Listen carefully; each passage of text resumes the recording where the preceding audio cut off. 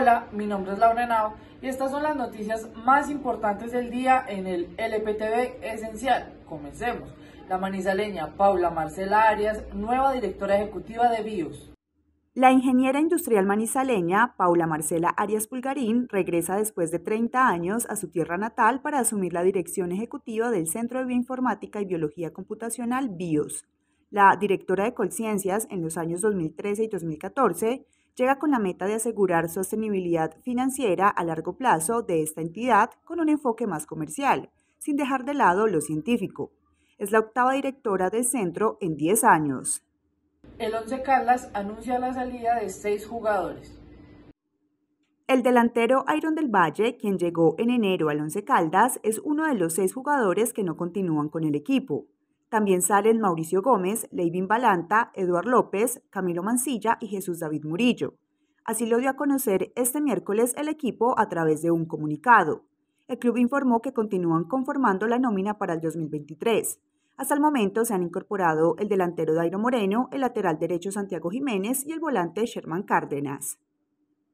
Alcaldía Manizales entrega 100 apartamentos en el barrio San Sebastián.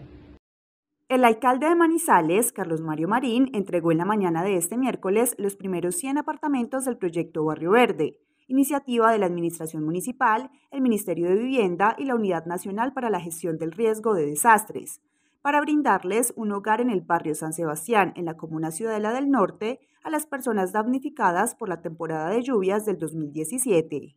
Caldas agrega un muerto por la COVID tras cinco meses sin decesos.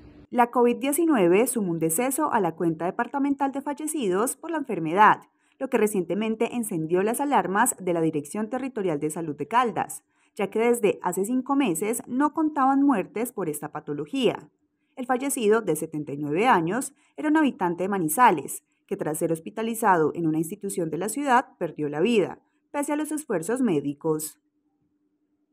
Inficaldas cambió su imagen, ahora es Infi. Se esperan los resultados. El Instituto de Financiamiento, Promoción y Desarrollo Inficaldas seguirá promocionándose comercialmente con la marca registrada Infi, como una forma de mostrar una imagen más fresca y renovada, y el interés de seguir promoviendo sus proyectos de región. Aunque legalmente seguirá llamándose Inficaldas, en sus logos e imagen se ofrecerá de ahora en adelante como Infi. Según el gerente de la entidad, Juan Martín Zuluaga, más que un cambio de imagen, se trata de la celebración por los 50 años del instituto. Buscan ayudas para celebrar la primera comunión de 19 niños mañana en Maltería. 19 niños harán la primera comunión mañana a las 10 de la mañana en la iglesia de Maltería en Manizales. Ya están los vestidos, los zapatos, los cirios y la torta que ofrecerán luego de la ceremonia religiosa. Faltan elementos para decorar el sitio de la celebración, elementos para servir bebidas y anchetas para rifar entre las familias. Los interesados en apoyar esta obra social de la Fundación Granito de Arena se pueden comunicar a los celulares 311-634-7510 con Angeli Castaño o al 312-219-4870 con Estefanía Pérez.